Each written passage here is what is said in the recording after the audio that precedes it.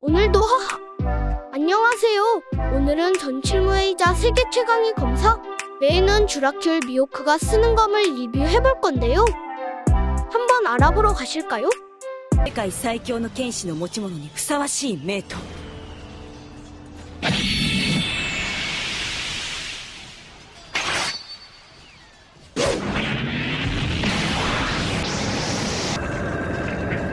シャブルイがする 久しぶりだな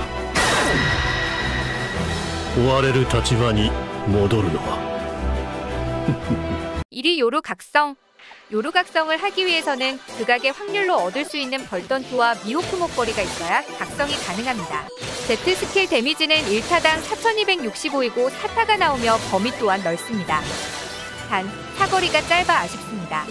X 스킬은 멀리서 때리면 데미지가 강해집니다. 킹피스에서 가장 사거리가 긴 스킬이라고 생각합니다. 또한 카이도나 해왕처럼 크기가 큰 적에서 데미지가 많이 들어갑니다. 단, 로벅스 아이템이라는 가장 큰 단점이 있습니다. 하지만 킹피스에서 평타 사거리가 가장 길고 사거리 또한 가장 길어서 1위에 선정하였습니다. 어떠셨나요? 세계 최강의 검사가 쓰는 검이라서 강력하지 않았나요?